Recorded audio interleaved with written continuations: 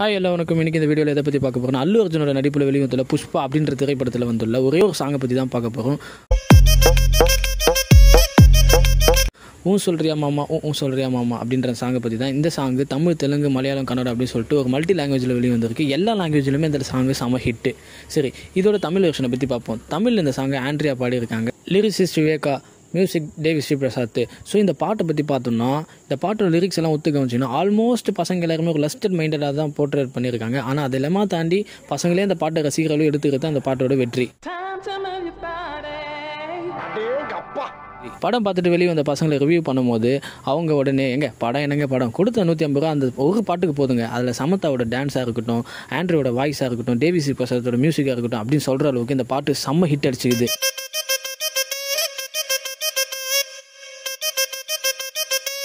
என்னதான் அந்த பாட்டு ஹிட் அடிச்சிருந்தாலும் குட்டுன்னு ஒன்று இருக்கும்போது பேடுன்னு ஒன்று இருக்கும் இல்லையா? ஸோ இந்த பாட்டு கேட்டு ஒரு சில ஆண்கள் எல்லாம் வந்து எங்க ஆம்பளைங்க எல்லாருமே அப்படி தாங்க ஒரு லஸ்டட் மைண்டாக தான் எல்லாருமே இருக்குமா? அப்படின்னு சொல்லிட்டு எதிர்ப்பு தெரிவிக்க ஆனால் ஒரு ஜென்ரல் ஆடியன்ஸோட ஃபீல் என்னென்னா எங்க இதுக்கே எப்படின்னு சொன்னால் இது வரைக்கும் அந்த ஐட்டம் சாங்லலாம் பெண்களை எப்படியெல்லாம் வர்ணிச்சிருக்காங்க எப்படியெல்லாம் வார்த்தைகள் யூஸ் பண்ணியிருக்காங்க அதுக்கு இதெல்லாம் ஒன்றுமே கிடையாது. அப்படின்றது தான் ஒரு ஜென்ரல் ஆடியன்ஸோட மைண்ட் செட்டு சரி நான் போய்க்கிருந்தேன். யாரு வம்பு தும்புக்காச்சும் போனனா? படம் வெளிவரத்துக்கு முன்னாடி அல்லு அர்ஜுன் கிட்டமே இந்த கான்ட்ரவர்சி பற்றி கேட்டிருந்தாங்க. அந்த ஓ சொல்றியா ஓஹோ சொல்றியா பாட்டு வந்து ரொம்ப பிரமாதமா ஹிட் ஆயிருக்கு. அதே நேரத்துல அந்த பாடலுடைய வரிகளுக்கு ஆண்கள் எதிர்ப்பும் தெரிவிக்கிறாங்க. நீங்களும் ஒரு ஆண் தான். நீங்க எப்படி ஃபீல் பண்றீங்க? உண்மைதானே ஒரே வார்த்தையில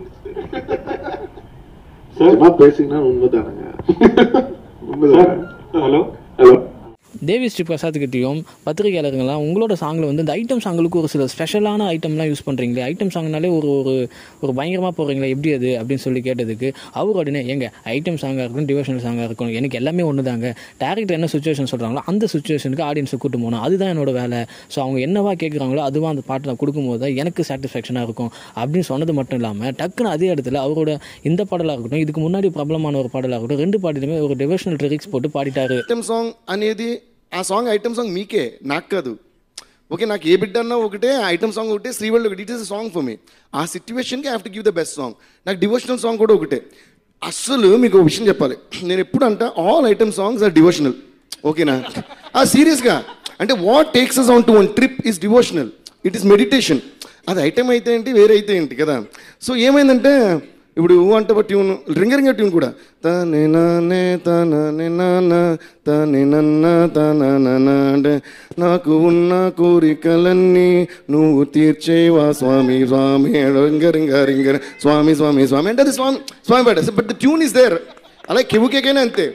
ఇందులో best item song sorry best devotional song ఏంటంటే ఊ అంటావు ఊ తాని నన్న తాని కొండ కొండ ఎక్కైనా నీకు నేను తానన పూలు నేను పెట్టైనా ప్రసాదమంతా నాకే ఇచ్చి కష్టాలు నువ్వు తీర్చేవా ఊ అంటావా స్వామి ఊ అంటావా స్వామి ట్యాంగ్ డాంగ్ డాంగ్ అనేస్తే అది డివోషనల్ సాంగ్ ఓకే యార్ స్వామి ఎంగంత వందరకాం தெலுங்குல இந்த பாட்டை எப்படி நினச்சி எழுதியிருந்தாங்களோ அதே அளவு கொஞ்சம் கூட கம்மியாகாத அளவு தமிழ் லிரிக்ஸிஸ்ட் விவேகா அப்படியே சூப்பராக அதை டப்பிங் பண்ணியிருப்பார்.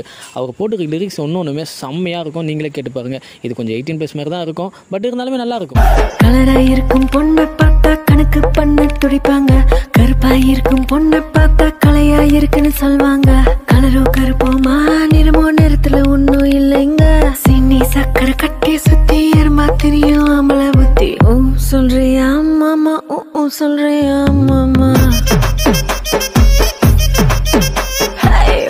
சொல்றியா மாமா ஓ ஓ சொல்றியா மாமா என்னமோ ஃபீல் பண்ணி கூவுறான்டா அவன்? இருக்கும் ஊருக்குள்ள நிறைய பசங்க வந்து ஊன் சொல்றியா மாமா ஊன் சொல்றியா மாமான்னு சொல்லிட்டு இந்த பாட்டை பாடி இந்த ஆச்சரியப்படுறதுக்கு எதுவுமே கிடையாது. மார்கழி மாசம் ஒன்லி டெவோஷனல் சாங் தான் கேட்பேன். அப்படின்னு கட்டுப்பாடோட இருக்கிறவங்க கூட இந்த பாட்டை கேட்டாங்கன்னா அவங்களே அறியாம கூட அவங்க வாயில இந்த பாட்டு உள்ளது.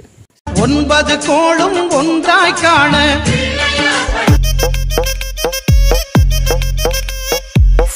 சேல சேல கட்டா குறு குறு குறுன்னு பாப்பாங்க. அங்கு கற்பகம் என்னும் குட்ட குட்ட கவுன போட்டா குறுக்கா மறுக்கா பாப்பாங்க. சேல பிளவுஸோ சின்ன சரி எது எப்படியாக இருந்தாலும் நீங்கள் இந்த பாடலை பற்றி என்ன நினைக்கிறீங்க அப்படின்றத நம்ம கமெண்ட் பாக்ஸை கமெண்ட் பண்ணுங்கள் ஸோ நன்றி வணக்கம். இது சினிமா இடியட்ஸ்